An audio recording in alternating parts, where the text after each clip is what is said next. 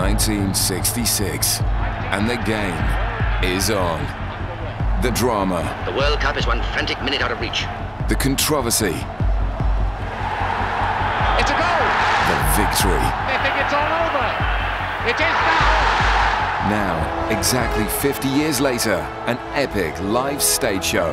The untold stories by those who were there. Walk down that tunnel, you know, the roar of the crowd, it was just absolutely fantastic. The best of the game.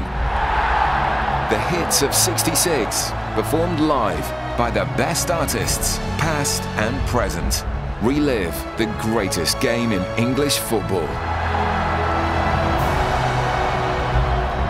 A once-in-a-lifetime event, Saturday afternoon, July the 30th. Broadcast on the BBC and live to cinemas across the country. This is Wembley. This is World Cup 66 live.